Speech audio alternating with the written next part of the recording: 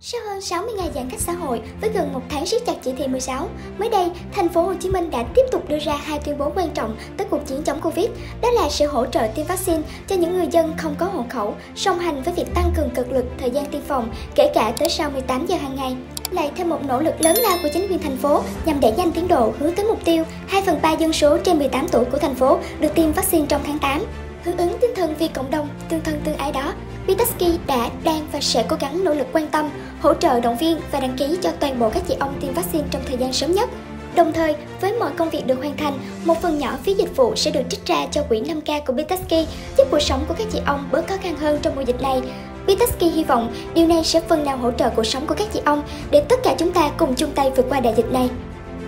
Với tình hình dịch bệnh vẫn còn diễn biến phức tạp như hiện nay, chúng ta chưa thể nói trước được về sự kết thúc của chủ ngày giãn cách xã hội này. Hãy tiếp tục giữ vững tinh thần, ở nhà là chống dịch. Nếu có nhu cầu mua sắm lương thực thực phẩm, hãy nhờ ngay tới dịch vụ đi chợ của Bitexky nhé. Nhập ngay mã đi chợ 20 để được giảm giá cho lần đầu đặt lịch đi chợ.